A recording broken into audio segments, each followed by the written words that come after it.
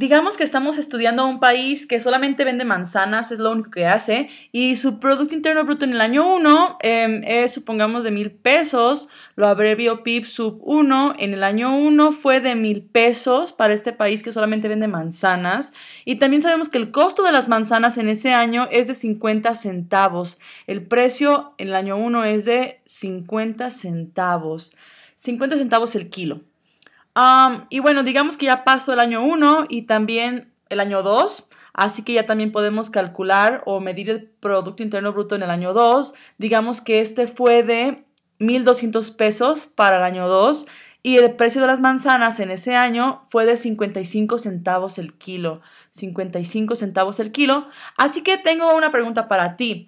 La razón por la cual calculamos el PIB es para medir la productividad del país. Y es verdad que estamos midiendo en términos de pesos, pero nos interesa más, más que saber la cantidad de pesos, nos interesa más saber si el país fue productivo. Y si así lo fue, ¿por cuánto fue productivo? Si solamente observamos estos números del PIB, échale un vistazo a estos 1000 contra estos 1200. Observas que 1200 es 20% más que aquellos 1000 pesos del año 1.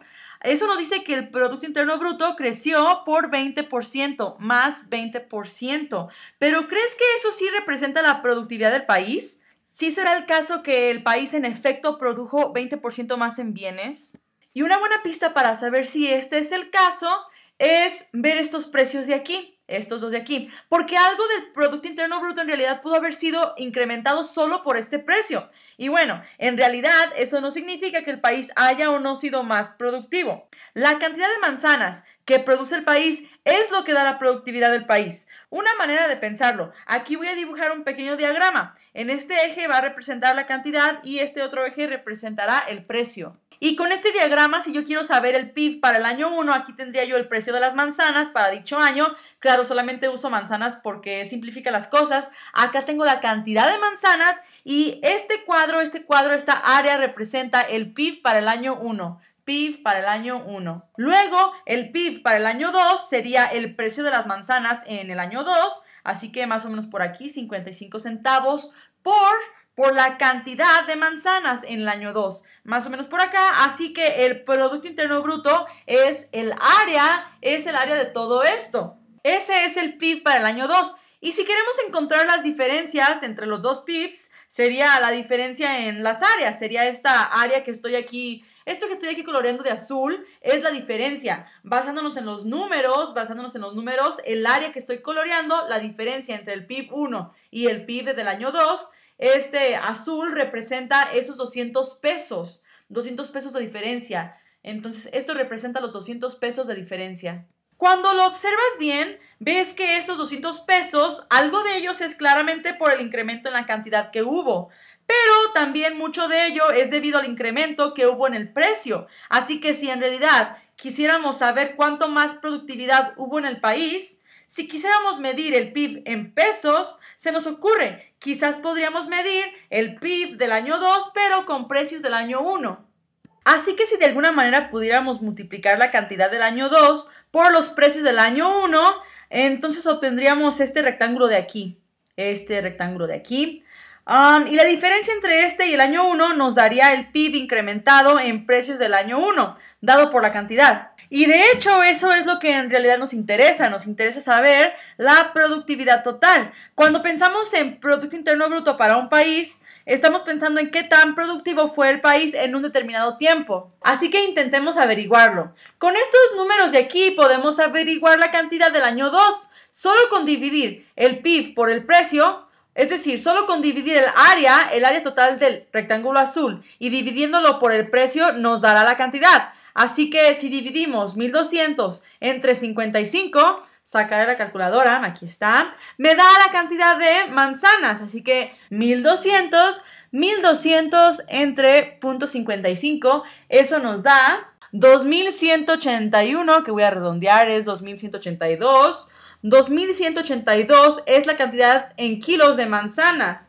La cantidad en el año 2 es de 2.182 kilos de manzanas. Y bueno, entonces el PIB del año 2 entre el precio del año 2 me da 2.182 y esta cantidad, esta respuesta multiplicada por el precio del año 1, que son las manzanas estaban en 50 centavos el kilo, por el precio del año 1, esto me da la cantidad de bueno, lo voy a hacer en la calculadora. De hecho, tendría que hacerlo en la cabeza, pero, pero veamos. Es, es la respuesta por punto 5 me da, esto lo voy a redondear a 1091. 1091.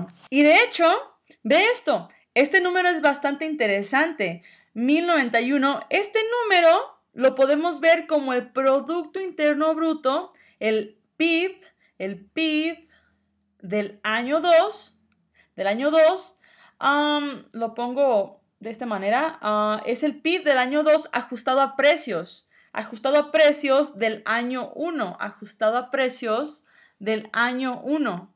Y lo bonito de este asunto es que esto nos dice, mira, si los precios se hubieran mantenido constantes, esto sería el PIB, esto sería el PIB si los precios no hubieran incrementado.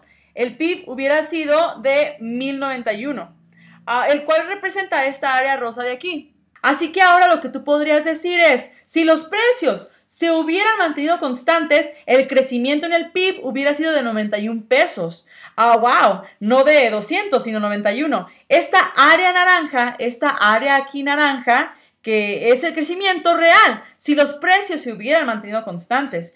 91 pesos de 1000 pesos en el PIB a 1091.